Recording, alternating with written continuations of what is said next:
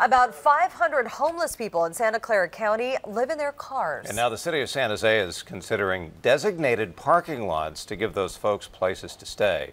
Kiet Do has a story you'll see only on KPIX 5. Welcome to Butcher Park in West San Jose, part urban oasis, part RV park, and a de facto safety net of those living on the edge. Home sweet home, huh? Yeah. It's 7 o'clock in the morning, and Alita has just finished making breakfast for her male companion, Ronald. Their Social Security and pensions add up to $2,800 a month, not enough to pay the sky high rent. This is the bathroom, and it has a shower and a toilet and a sink. So they bought this old RV and now rough it on the streets of San Jose.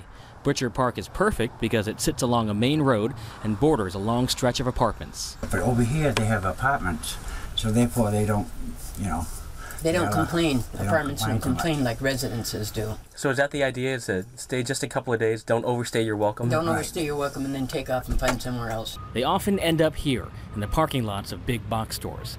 Every night in Santa Clara County, 500 people sleep in their cars. To some, it's an eyesore. To the city, it's an opportunity. This is a great population to work with because it might be a population that we can help get stable faster. San Jose is now looking into converting city owned land into temporary parking lots for up to 30 car campers, essentially a homeless drive in with bathrooms, security, and case managers.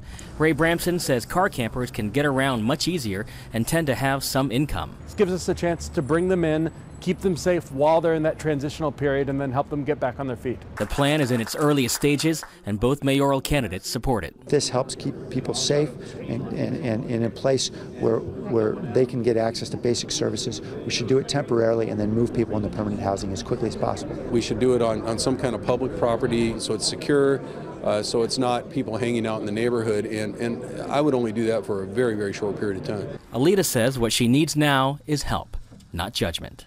I'm a decent, law-abiding person, and I just need a chance to get into an apartment. That's all I wanted was a chance to get into an apartment. And so this is a pilot program. They want to build two parking lots that hold up to 15 cars each. They're trying to get the funding. They think it's going to cost somewhere in the neighborhood of up to $400,000. Brian and Michelle, back to you. Do they have any idea where they want to do this, like what parking lots they're thinking about using? Yes, this is the uh, million dollar question, if you will. They want to locate these parking lots uh, in a place where it's not going to blight anybody, cause uh, too much problems for uh, local neighbors, but they also don't want to put it so far away that a lot of these folks are wasting time, money, and uh, gas to get to where they need to go. We're live in San Jose, Kiet Do, KPIX 5.